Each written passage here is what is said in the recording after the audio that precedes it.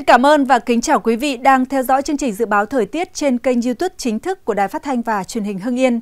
Chúng tôi luôn cập nhật những thông tin thời tiết mới nhất, những cảnh báo thiên tai nóng nhất gửi tới quý vị. Và sau đây là nội dung chi tiết của chương trình ngày hôm nay. Trung tâm Khí tượng Thủy văn Quốc gia dự báo hiện nay áp thấp nóng phía Tây phát triển và mở rộng ra khu vực Bắc Bộ. Do vậy, trong tuần này, khu vực Bắc Bộ bao gồm cả Đông Bắc và Tây Bắc Bộ, thời tiết chủ đạo là nắng nóng với mức nhiệt cao. Trong đó, khu vực Hà Nội và phía Tây Bắc Bộ, mức nhiệt cao nhất trong tuần có thể lên đến 33 đến 34 độ C. Tuy xuất hiện vài ngày có mưa ở giữa tuần, nhưng cơ bản thời tiết vẫn là nóng, độ ẩm khá cao. Cụ thể, từ ngày hôm nay ngày 25 tháng 3 đến ngày 26 tháng 3 và từ ngày 30 tháng 3 đến ngày 1 tháng 4, phía Tây Bắc Bộ mưa vài nơi, sáng sớm có sương mù và sương mù nhẹ rải rác, trưa chiều trời nắng, riêng khu Tây Bắc có nơi nắng nóng. Từ khoảng ngày 28 đến ngày 29 tháng 3, có khả năng mưa rào rải rác và có nơi có rông, đêm và sáng trời lạnh. Phía Đông Bắc Bộ từ ngày 26 đến ngày 29 tháng 3 có mưa rải rác, Riêng vùng núi từ ngày 28 đến ngày 29 tháng 3 có khả năng có mưa rào rải rác và có nơi có rông, đêm và sáng trời lạnh. Các tỉnh từ Thanh Hóa đến Thừa Thiên Huế, phía Bắc đêm có mưa rào và rông vài nơi, sáng sớm có sương mù và sương mù nhẹ rải rác, ngày nắng.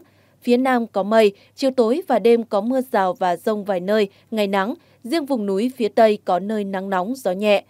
Khu vực Tây Nguyên, chiều tối và đêm có mưa rào và rông vài nơi, ngày nắng.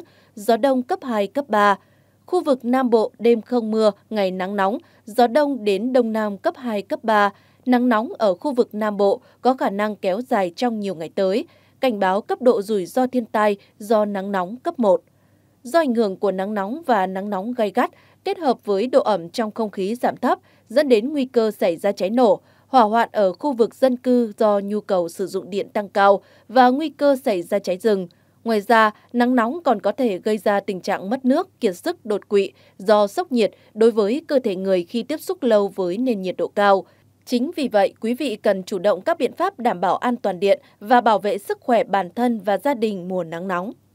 Sau đây là dự báo chi tiết thời tiết các vùng trên cả nước. Khu vực Hà Nội nhiều mây, đêm và sáng có mưa nhỏ, mưa phùn và sương mù rải rác, gió đông nam đến nam cấp 2, cấp 3, nhiệt độ thấp nhất từ 22 đến 24 độ, nhiệt độ cao nhất từ 28 đến 30 độ. Phía Tây Bắc Bộ có mây, đêm có mưa vài nơi, ngày nắng, có nơi nắng nóng, gió nhẹ, nhiệt độ thấp nhất từ 21 đến 24 độ, riêng khu Tây Bắc có nơi dưới 20 độ, nhiệt độ cao nhất từ 31 đến 34 độ, có nơi trên 35 độ. Phía đông bắc bộ nhiều mây, có mưa vài nơi, sáng sớm có sương mù và sương mù nhẹ rải rác, trưa chiều giảm mây trời nắng. Riêng khu vực đồng bằng và ven biển đêm và sáng có mưa nhỏ, mưa phùn và sương mù rải rác, gió đông nam đến nam cấp 2, cấp 3. Nhiệt độ thấp nhất từ 21 đến 24 độ, nhiệt độ cao nhất từ 28 đến 31 độ, vùng núi có nơi trên 31 độ. Vực Thanh Hóa đến Thừa Thiên Huế, phía Bắc nhiều mây, đêm có mưa rào và rông vài nơi, sáng sớm có sương mù và sương mù nhẹ rải rác ngày nắng. Phía Nam có mây, chiều tối và đêm có mưa rào và rông vài nơi, ngày nắng. Riêng vùng núi phía Tây có nơi nắng nóng, gió nhẹ. Nhiệt độ thấp nhất từ 22 đến 25 độ, nhiệt độ cao nhất từ phía Bắc 28 đến 30 độ, phía Nam 30 đến 33 độ. Riêng vùng núi phía Tây có nơi trên 35 độ. Khu vực Đà Nẵng đến Bình Thuận có mây, chiều tối và đêm có mưa rào và rông vài nơi ngày nắng. Gió đông đến đông nam cấp 2, cấp 3. Nhiệt độ thấp nhất từ 23 đến 26 độ, nhiệt độ cao nhất từ 31 đến 34 độ, có nơi trên 34 độ. Khu vực Tây Nguyên có mây, chiều tối và đêm có mưa rào và rông vài nơi ngày nắng. Gió đông cấp 2, cấp 3, nhiệt độ thấp nhất từ 19 đến 22 độ, nhiệt độ cao nhất từ 32 đến 35 độ, có nơi trên 35 độ. Nam Bộ có mây, đêm không mưa, ngày nắng nóng, gió đông đến đông nam cấp 2, cấp 3. Nhiệt độ thấp nhất từ 24 đến 27 độ, nhiệt độ cao nhất từ 33 đến 36 độ. Riêng miền Đông có nơi trên 37 độ. Dự báo thời tiết biển, Bắc Vịnh Bắc Bộ có mưa vài nơi, tầm nhìn xa trên 10 km, gió Đông Nam đến Nam cấp 5, sóng cao 1 đến 2 mét. Nam Vịnh Bắc Bộ không mưa, tầm nhìn xa trên 10 km, gió Đông Nam đến Nam cấp 5, sóng cao 1 đến 2 m. Quảng Trị đến Quảng Ngãi không mưa, tầm nhìn xa trên 10 km, gió Đông Nam đến Nam cấp 4, cấp 5, sóng cao 1 đến 2 m. Bình Định đến Ninh Thuận không mưa, tầm nhìn xa trên 10 km, gió đông đến đông nam cấp 3, cấp 4, sóng cao 0,5 đến 1,5 m.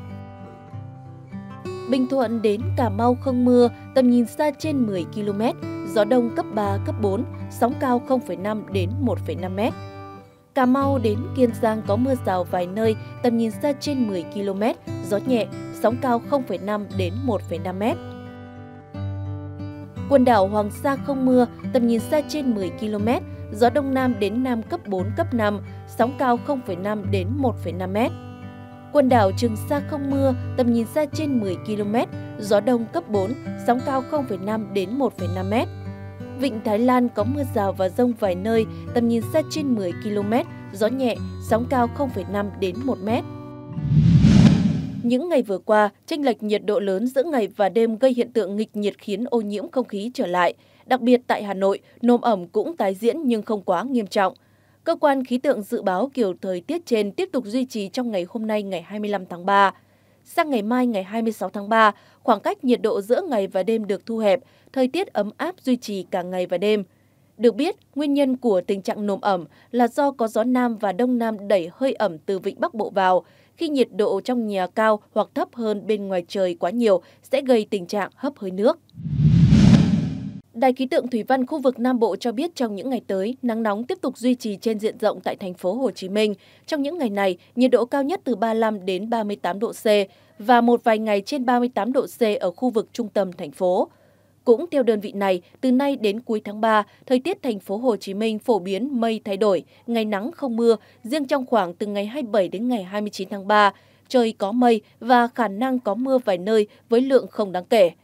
Mới đây, ông Hoàng Đức Cường, Phó Tổng cục trưởng Tổng cục Khí tượng Thủy văn, Bộ Tài nguyên Môi trường nhận định, Nam Bộ nắng nóng xuất hiện dài ngày, xâm nhập mặn tăng cao hơn ở đồng bằng sông Cửu Long. Sắp tới, những hiện tượng thời tiết cực đoan, dị thường vẫn còn tiếp tục xảy ra. Chính vì vậy, Tổng cục Khí tượng Thủy văn sẽ cố gắng dự báo kịp thời các hiện tượng thời tiết, thủy văn, hải văn nguy hiểm trên phạm vi cả nước. Trong khi nắng nóng gay gắt vẫn kéo dài đặc biệt ở miền Đông, thì tại đồng bằng sông Cửu Long, ngoài nắng nóng lại chuẩn bị đón thêm một đợt mặn xâm nhập sâu tiếp theo.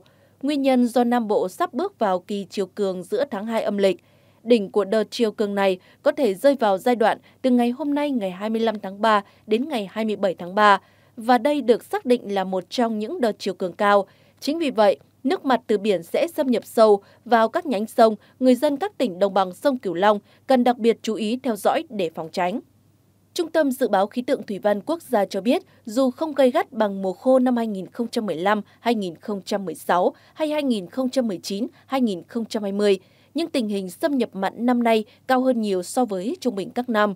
Cụ thể, tại hầu hết trạm đo độ mặn đều cao hơn cùng kỳ năm 2023, từ 0,3 đến 8,5 phần nghìn. Đợt xâm nhập mặn sắp tới, danh mặn 4 phần nghìn trên hệ thống sông Vàm Cỏ vào sâu đến 70 đến 90 km, các nhánh sông Cửu Long từ 40 đến 60 km. Sau đợt này, vẫn còn khoảng 2 đợt xâm nhập mặn nữa vào tháng 3 âm lịch, nhưng khả năng sẽ ít gai gắt hơn.